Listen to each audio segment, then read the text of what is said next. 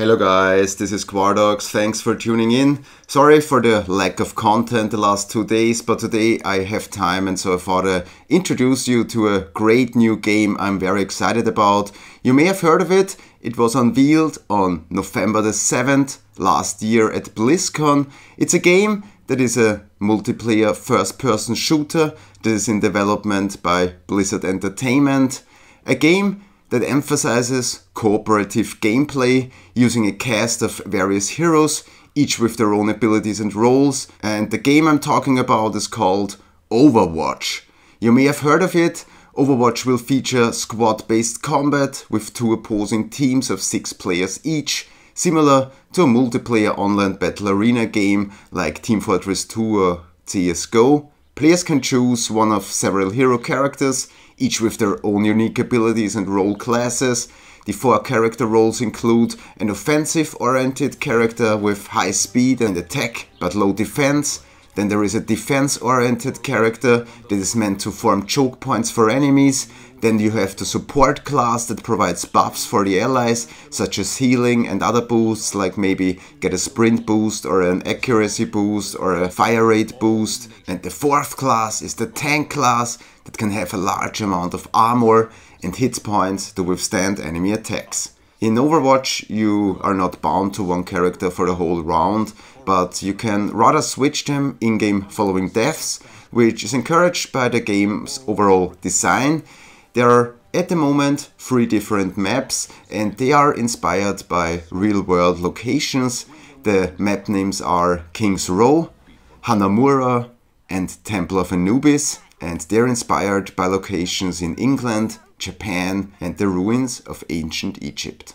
Unlike Battlefield, we don't need to be scared that the netcode has problems or something because this game is set to be the next great competitive shooter and you can expect to have fluent gameplay and no problems with netcode because the emphasis is not here on graphics and next gen levolution but more on lag free, team oriented, competitive gameplay. So, what I like to call it is the next generation of Counter Strike. I think the weapon handling will be a little bit different than in CSGO because there you have like a bullet spread you need to get used to and if you manage that and you have the skill you can manage it quite well and get a lot of kills pretty easy. But I think in this game you will actually shoot where you aim like in Unreal Tournament for instance. So it's more like a fast jump and run shooter more like the Call of Duty franchise and also with the tactical elements of other games. You have like shields and turrets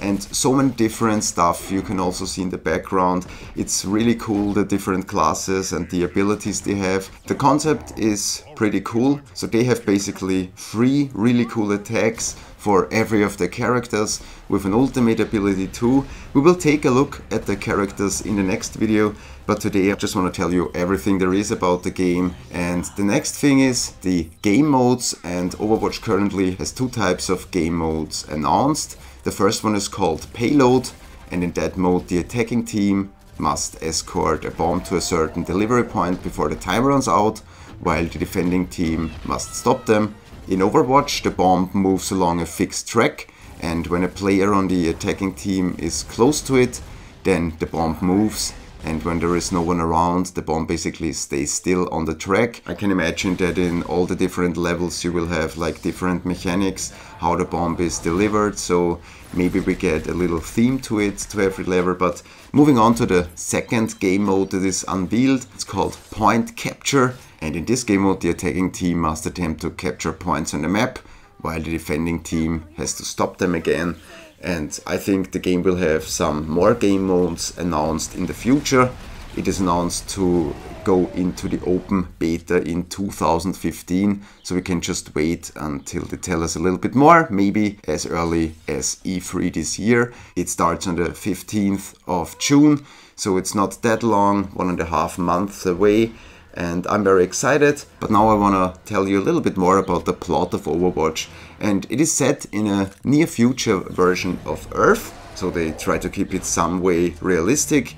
Years after the resolution of the global scale Omnic crisis, and the Omnic crisis put all of humanity under threat of the Omnic robots, named as such by their very creators because of their artificial intelligence. To end it, an international task force called Overwatch was formed to protect humanity. In the years after the end of the Omnic crisis, Overwatch remained as a peacekeeping force until, under accusations of corruption and sedition, the task force was eventually disabled. That is all we know of the plot so far. I hope there will maybe be a little single player narrative to it, but I think mostly that this game will focus on the online competitive aspect because it was first planned as an MMO called Titan that was basically the same concept with these heroes and in the end they announced they want to make a shooter out of it. That is something next gen for the competitive scene that actually works. And now we got a little information on the storyline. The next thing I want to tell you a little bit about the development of Overwatch. According to Blizzard Entertainment co-founder Michael Morhaime, Overwatch is intended to, and I quote, create an awesome FPS experience that's most accessible to a much wider audience while delivering the action and depth that shooter fans love.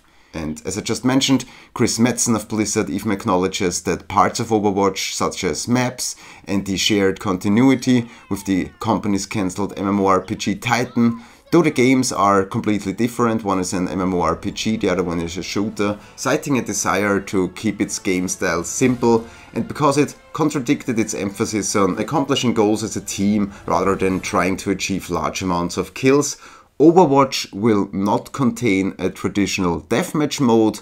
Metzen stated that, and I quote, we have a long legacy of developing multiplayer games, and it came down to is it even possible to build a shooter that doesn't feel cynical, that doesn't feel cruel, that doesn't feel nasty? Can you build one that really promotes teamwork and relationship and having fun with your friends and not getting killed with a throwing knife from half across the map as soon as you jump in? And I think what he says here is pretty cool because most of the games with the whole war scenario and setting with the deathmatch modes and stuff stuff are basically all about killing, but in this game the emphasis is not about your KD, it's more about the teamwork and I think this game has a whole nother level of skill when you actually learn to play with different abilities together. We will see that when we take another look at the characters, but what we've seen so far is pretty amazing and exciting. Speaking of playable characters, Overwatch was started as being intended to portray diverse representation of genders and ethnics, including males, females and non-human characters such as robots and animals like gorillas.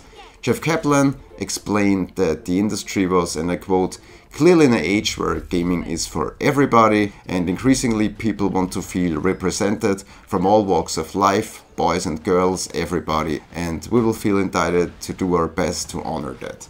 And I think that is pretty cool. And even in this character screenshot, we can see the diversity of the characters. You got a cowboy, you got a space dude, you got the cool guy, you got the big guy with the armor. So I think you will find your favorite character and they're more planned and you can expect a lot of variety between them. So it's not like you take the man or the woman, but basically they have the same gun. No, in this game they really have three unique abilities to every class, and that is pretty amazing. Currently, Blizzard has three main franchises in the gaming industry, Warcraft, Diablo and Starcraft, multiple games that have been released for each game series, and the other media is based around the intellectual property for each franchise. Books have been written, expanded of the story for each of the series, along with media such as comics and collectible card games, and they even are working on a Warcraft movie now that is actually, I think, finished shooting. It is in editing now. Is distributed by Universal Pictures. So what we've seen so far, if you watch shows like AMC Movie Talk, they are pretty amazing and we can all hope that it is successful because that could lay out the groundwork like with the first Iron Man movie and Captain America movie for more of this genre's content. And there was also talks for an Uncharted movie, that is something I would really like to see and I think Tomb Raider was a good try, but like the Resident Evil series, it really wasn't what the fans were expecting. I think at Resident Evil you could go like a little bit more of the Daredevil HBO style, the just darker, a little bit more true to the world and a little bit more realistic. Walking Dead is very good, but I don't think it fits into the Resident Evil style. The zombies I really like, but the way I think Walking Dead runs and is edited is not perfect for a Resident Evil franchise.